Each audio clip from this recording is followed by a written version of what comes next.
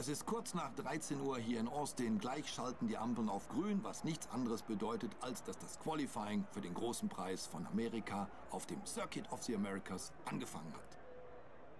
Es ist Freitagmorgen hier in Texas und wir warten darauf, dass die grünen Ampeln den Start eines nassen Trainings ankündigen. Die Teams werden hart daran arbeiten, Nass? viel Leistung wie möglich aus den Autos herauszukitzeln. Austin ist eine relativ neue Strecke im Rennkalender. Es gab bislang nur wenige Gewinner, also konnte noch niemand der Strecke seinen Stempel wirklich aufdrücken. Es gibt also keinen Fahrer, der hier garantiert dominieren wird. In diesem Jahr gibt es so viele Fahrer, die es im heutigen Qualifying auf die Pole Position schaffen könnten, dass es ein Kopf-an-Kopf-Rennen zwischen vier oder fünf von ihnen werden könnte. Es bleibt also spannend. Dass das Qualifying hier in Austin verbuggt ist, kennen wir aus den Meisterschaftssaisons. Und damit begrüße ich euch recht herzlich zurück zu Let's Play Formel 1 2015 bei der Bianchi-Saison. Also irgendwie ist hier jedes Mal dieses, ja, dieses Qualifying so richtig verbuggt. Man merkt das immer so richtig. Hier sollten wir auch nicht vorsimulieren, diese 18 Minuten. Werde ich aber wahrscheinlich nicht machen. Sondern wieder mal eine schöne Partie ansprechen. Das ist eine deutsche Flagge! Jawoll! Da sind Vettel oder Rosberg-Fans. Da müssen wir mal hingrüßen. Na, haben wir hingegrüßt. So. Äh, das Werk haben wir schon mal erledigt. Und welches Werk auch wieder erledigt ist, mein Teamkollege ist vor mir. Ja, super. Nicht. Oder davor ist noch ein Hülkenberg. Ja, super.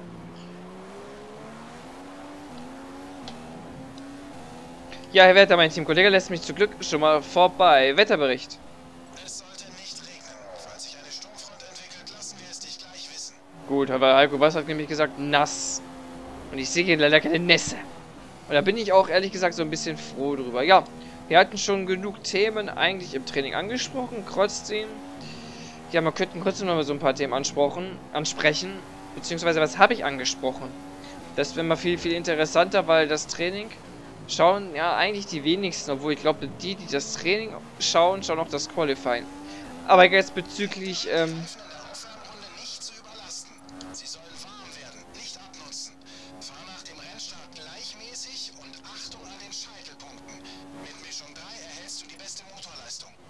So, haben wir damit ein Geschwafel jetzt auch erledigt. So, danke, Chef.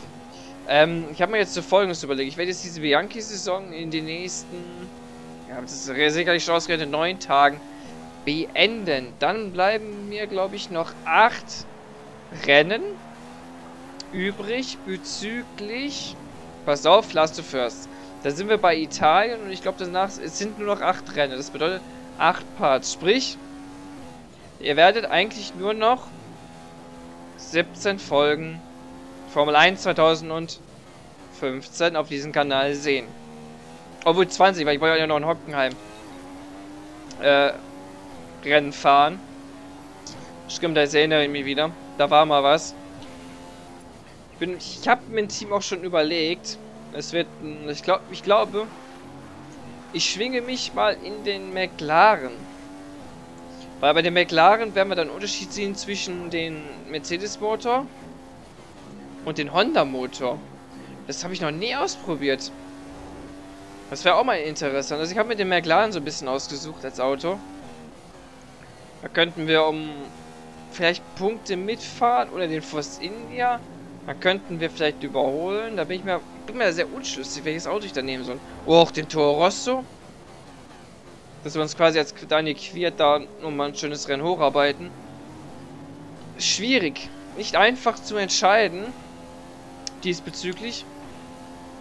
Also wären es dann 20 Parts. Also das ist, wenn ich jetzt das mal richtig ausgerechnet habe, 20 Parts. Das ist dann wirklich nicht mehr lange. Ich glaube, es sind noch knappe 30 Tage zum Release von F1 2016. Sprich, dieser Kanal kommt eigentlich 10 Tage ohne Formel 1 2015 aus. Ich habe euch aber natürlich ein Übergangsprojekt versprochen. Und ich habe euch auch schon erzählt, dass ich das so ein bisschen... Ja, Chef, ich weiß. Ähm, das ist jetzt gerne mit Dirt Rally, was ja immer noch nicht läuft. Und, ähm, DTM Experience 2015. Da arbeite ich mich wieder so ein bisschen ein in die DTM-Thematik, Das ist die bislang schnellste Runde. Gut gemacht. dass ich euch da ein bisschen nochmal was der Welt der DTM berichten kann, weil das ist halt wieder so was Schönes. Und dann, hat, dann habt ihr eigentlich zum Start von F1 2016 DTM Experience, vermutlich, weil ich habe das Gefühl, dass ich Dirt Rally nach der nach der einen Masters nach dem einen Masters, äh, also das sind noch zwei Ev Events übrig, dass ich glaube danach einen Cut setze. Weil danach habe ich 150 Folgen oder ich möchte so den Schnitt ab 150 Folgen einfach bringen, sonst habe ich das auch wieder als Endlosprojekt und das möchte ich eigentlich auch nicht so wirklich. Ja, das ist dann halt natürlich wieder schade für die, die das Projekt gerne sehen wollen. Aber dann kann ich halt DTM Experience 2015 bringen und gleichzeitig Formel 1 2016. Und das kann, das wäre dann interessant, finde ich. Da einfach mal den Quervergleich zu sehen.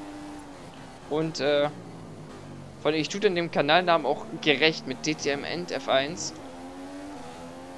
Und ich denke mal, dann ist da wieder was für jeden dabei. Dann, dann ist auch wieder ein bisschen mehr Abwechslung auf dem Kanal. Also, deswegen, Dead Rally ist, es ist kein Spiel, was mir keinen Spaß macht. Um Gottes Willen, das Spiel macht Spaß.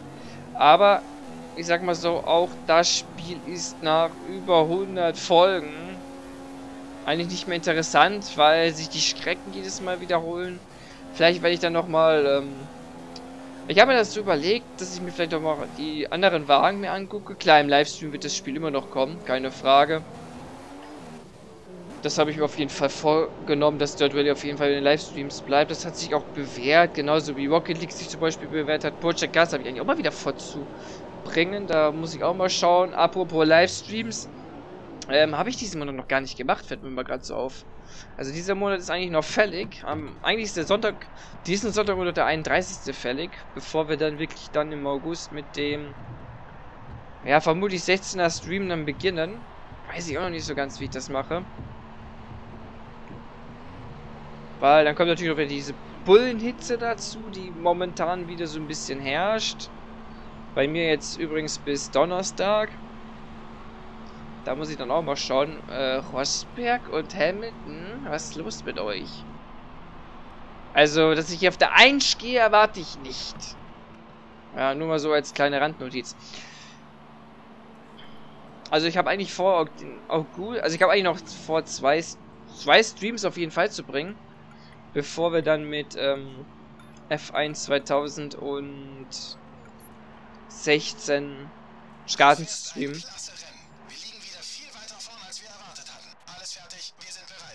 Jo, gut. Also das ist so momentan mein kleiner Plan, den ich mir so schmiede, den ich dann wieder in zwei Tagen über den Haufen werfe. Vermutlich. Das ist momentan auch so ein bisschen mein Problem, ist mir aufgefallen. Ich werfe gerne Pläne dann wieder über den Haufen. Ja, die ich angefangen habe. Ich weiß nicht warum. Ich weiß momentan echt nicht warum. Klar, die Diskussionsvideos, zum Beispiel, wenn sie es eine natürlich denken, wieso kam da jetzt eigentlich nichts, das Silbers unter das Schuljahr beendet? Nein, krankheitsbedingt. Genauso wie ich auch wieder so, so eine Vorschau mache zum um, großen Preis von Ungarn. Klar, ich habe jetzt euch so ein kleines bisschen die Vorschau gegeben, aber dass wir dann wieder auf ähm, die Reifensituation ansprechen. Wer hat wie viele Reifensätze? Wie sieht's aus? Wie die, die, die, mein Tipp für die besten 10 weil ich fand das vom Schema her gar nicht so schlecht aufgebaut. Und da könnt ihr natürlich dann auch gerne mitmachen. Die Community ist immer gerne angesprochen oder fühlt sich von mir angesprochen, um ganz einfach da mitzumachen. Und Hamilton, wo bist du eigentlich? Ich vermisse dich auf den vorderen vier Positionen. Der Bianchi-Tod übrigens, nochmal so als kleine Randnotiz, ist mittlerweile ein Jahr her. Also da, wo er im Krankenhaus verstorben ist, das ist mittlerweile ein Jahr her. Für die, die es jetzt nicht mitbekommen haben, das ist echt schon ein Jahr her. Und das Jahr ist in meinen Augen auch gerannt wie ein Weltmeister. Spielstunden wurde ich auch mal gefragt bei dem Spiel, sind mittlerweile bei über 500. Im Vergleich zu Rocket League, ich glaube, da habe ich gerade mal 40? 40 Stunden Rocket League und bei DTM Experience 2015. Ich habe eigentlich vor, eine Saison zu bringen eine. Beim Vorgänger habe ich zwei gebracht. Beim Vorgänger, ja, habe ich zwei gebracht. Also bei 2014 habe ich zwei gebracht. Bei 2015 habe ich eigentlich vor, eines zu bringen. Und zwar mit dem Auto von Pascal Wehrlein.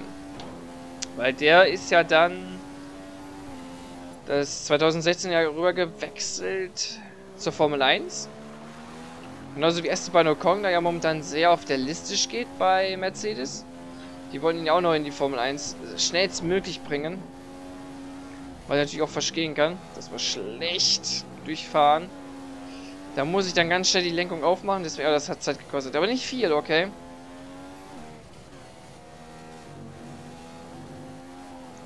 Was ich auch an F1 2016 schön finde, ihr seht einfach unten rechts, wie viel Gas ich geben kann. Und vor allem auch die Bremse. Das wird, glaube ich, die, die interessanteste Neuerung, oder die größte Neuerung für euch zum Beispiel sein. Wie viel Gas ich geben kann mit dem Lenkrad. Und wie stark ich zum Beispiel auf der Bremse stehen kann. Bin ich sehr gespannt. Unterstützte Lenkräder diesbezüglich zu F1 2016 habe ich noch nicht wahrgenommen. Ähm, aber ich gehe davon aus, dass dieses Lenkrad trotzdem unterstützt wird. Also es würde mich schon wundern, wenn nicht mehr. Okay, dafür war jetzt der Mittelteil besser durchfahren. Schlusssektor. Man soll ja immer weit ausholen. Das war auch nicht sauber. Da, da, da lasse ich auf jeden Fall Zehnte liegen. F1 2016, da muss ich mich mit Köstchen zusammensetzen. Da habe ich eigentlich aber auch vor, was so pl plant. Und der Geist hat auch schon eine Idee in meinem Kopf.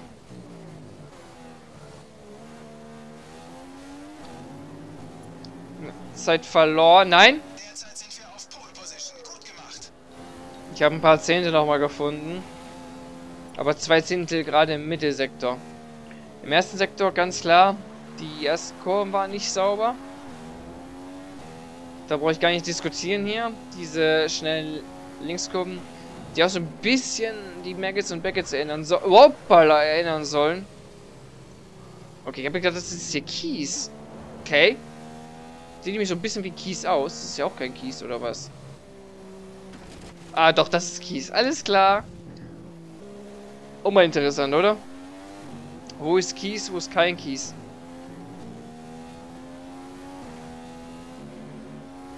Wo war ich jetzt eigentlich stehen geblieben? Jetzt habe ich den leicht den Faden verloren. Also wir haben noch ein bisschen mehr als 5 Minuten.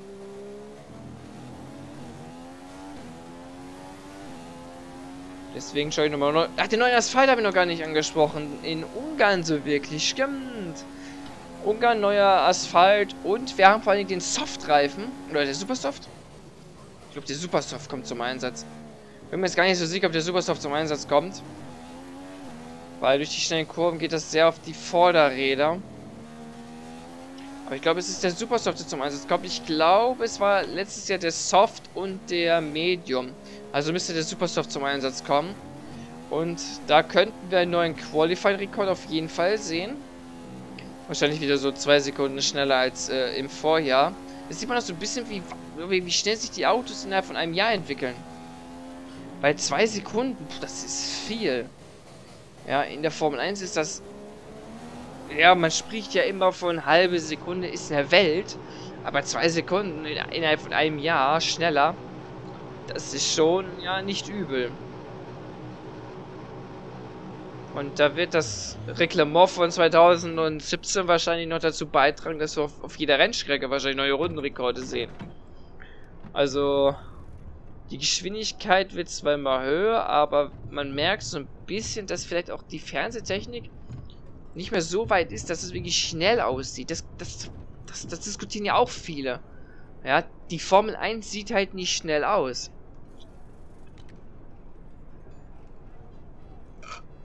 Und es könnte unterschiedliche Gründe haben, klar.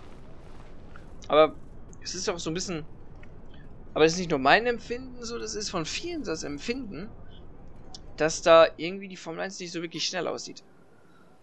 Fahre ich nochmal, fahre ich nochmal, eigentlich, ja, eigentlich brauche ich keinen frischen Satz mehr aufsparen. 8% ist allerdings viel.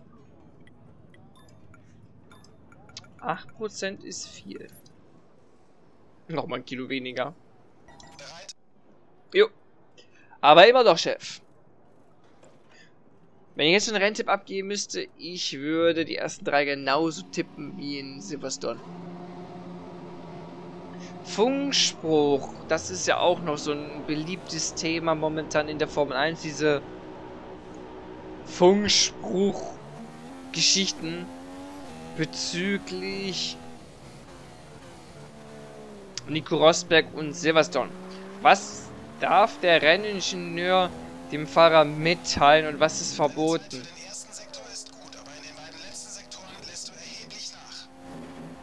Was heißt erheblich?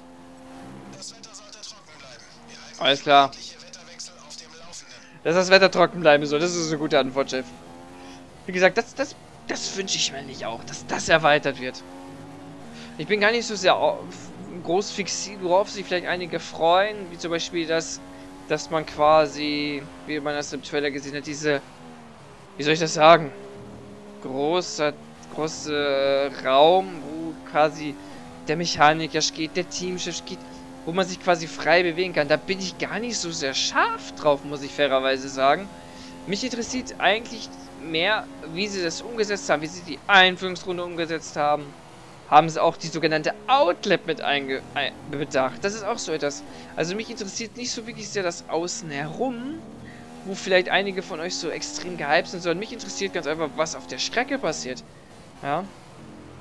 Das, das, das, bin, das, das interessiert mich einfach viel, viel mehr. Wie ist das virtuelle Safety Car umgesetzt? Wann kommt das Safety Car raus? Gibt es eine rote Flagge? Kommt die überhaupt zum Einsatz? Wie ist das Wettersystem? Wie entwickeln sich die Reifen? Wie ist die KI? Das interessiert mich zum Beispiel viel, viel mehr als so diese Experience Points, die man quasi sammeln kann, um das Auto weiterzuentwickeln. Das ist für mich ein nettes Feature, was ich allerdings nicht so wirklich brauche. Beziehungsweise ich vermisse es einfach nicht in den Formel 1 Teilen, da wir das wirklich nur einmal hatten und das war in F1 2011 so ein bisschen so angedeutet mit diesem einen Raum, äh, wo wir quasi unsere E-Mails abrufen können, aber ich habe das eigentlich nie vermisst. Was ich natürlich hier am meisten vermisse, ist das Safety Car, ja. Das ist ganz klar, das Safety Car, das wird hier am meisten vermisst und äh, auch zu Recht in meinen Augen. Aber wirklich diese, diese Geschichte, dass man sein Auto weiterentwickeln kann, da bin ich ehrlich gesagt nicht so wirklich scharf drauf. Weil da muss man sich auch wieder mit den einzelnen Komponenten wahrscheinlich gefasst machen. Und dann kommt die Frage, ist es optional, ist es nicht optional? Das, das, das, das finde ich das Schwierigste eigentlich für Codemasters Sache. Eigentlich müssten sie wirklich alles optional machen, weil für wirkliche Anfänger ist das zu kompliziert. Das ist dann, das wirkt dann abschreckend. Und die Hardcore-Fans sagen ja, endlich wurde, wurden wir mal erhört, ja. Und ob die Hardcore-Fans wirklich immer an die ähm, neuen Zocker denken, das steht auch noch auf so ein Papier. Zum Beispiel für mich virtuelle Safety Car. Braucht man das? Das ist, frage ich mich so, weil das virtuelle Safety Car wurde man eigentlich wurde nur eingebaut. Ähm, wegen dem Bianchi-Unfall damals. Deswegen gibt es das virtuelle Safety Car. Und es macht ja nichts anderes als. Und es ist ja eigentlich nur dafür da, was ich mir bei Codemasters vorstellen könnte, damit einfach die Ausfälle einfach mal auf der Strecke oder so bleiben. Das könnte ich mir durchaus vorstellen. Das könnte ich mir durchaus vorstellen. Weil hier zum Beispiel in F1 2015 sind die Ausfälle ja wirklich so, dass es ein Car und dann ist das Auto weg. Vielleicht ist man, oder vielleicht ist das Spiel dann so weit, dass man da wirklich die Mechaniker zum Beispiel sieht, ähm, wie sie zum Auto hinlaufen und dann quasi das Auto wegschleppen. Bezweifle ich allerdings. Ich denke mal, man wird das wieder so ein bisschen mit dem Ghost Car hantieren, dass wir das, dass das quasi wieder so sein wird. Ghost Cars werden nicht verschwinden, auch nicht im Multiplayer. Da bin ich mir relativ sicher. Aber dafür brauchst du dann eigentlich nur das virtuelle Safety Car, weil die Abstände während des Rennens bleiben gleich. Da brauche ich dann kein, da brauche ich dann kein virtuelles Safety Car. Aber ich denke mal auch, dass man mit dem virtuellen Safety Car ein bisschen taktieren kann. Das hat ja Rosberg letztes Jahr hier ganz, äh, ganz großartig gezeigt. Denn irgendwann heißt es ja Safety Car oder virtuelle Safety Car Ending. Und ich kann mir dann durchaus vorstellen, wenn du das dann diese Anweisung bekommst, dass du dann nicht mehr diese ähm, Zeit einhältst, die du halt in den Sektorenzeiten fahren musst. Ist auch so eine Sache. Wird dir, wie wird mir das angezeigt? Kriege ich das hier auf einmal auf dem Bildschirm aufgeplappt mit den, mit den Sektorenzeiten, die ich fahren darf? kriege ich dann oben rechts quasi angezeigt, okay, so und so viele Sekunden laufen gerade ab. Oder muss ich das wirklich nach Gefühl fahren? Und das meine ich mit Umsetzung. Das wird interessant, scheiße. Ich wollte jetzt eigentlich nicht nochmal eine Runde fahren, scheiße. Ja, ja, passt schon. Ich wollte eigentlich die Boxengasse abbiegen. Das ist, wenn man sich so ein bisschen verquatscht hat, ja. Oh, ich sind die Reifen noch nicht nochmal hart ran. Wie gesagt, ich bin am meisten auf die Umsetzung gespannt. Und das wird auch vieles entscheiden, ob das Spiel gut oder schlecht ist. Was für eine fabelhafte Leistung von Jules Bianchi, der im morgigen Rennen von der Pol startet. Ein Spitzenergebnis für den Mann aus Frankreich. Also das war eine gute Qualifikationsrunde, wirklich spektakulär. Aber ob er morgen dieselbe Leistung noch einmal abrufen kann, ich jedenfalls kann es kaum erwarten, es zu sehen. Ich auch. Ich kann es auch kaum erwarten, das zu sehen. Und ihr wahrscheinlich auch. Also auf einer Strecke, wo ich eigentlich sehr große Probleme habe, hole ich auf Expertin im Manor oder Marussia die Pole raus. Wo ist da der Fehler? Genau, der Fehler liegt bei Rosberg und Hamilton. Die haben einfach nicht geschafft, sich von den beiden Red Bulls zum Beispiel zu qualifizieren. Der sagt das schon mal alles aus. Pole Position vor Vettel und Ricciardo, dann Rosberg, Bottas und Hamilton. Die Mercedes werden aber so viel Druck ausüben, dass ich dann nach hinten mich orientieren darf. Alonso siebter, Massa auf der 3 und auf der 9 und Button auf der 10. Also keine Überraschung in den Top 10. Nö, nicht wirklich. Ich bedanke mich fürs Zusehen. Wenn es euch gefallen hat, gebt der Folge einen Daumen nach oben, schreibt einen Kommentar. Und wir sehen uns wieder, wenn es wieder ist Let's Play Formel 1 2015 bei der Bianchi-Saison.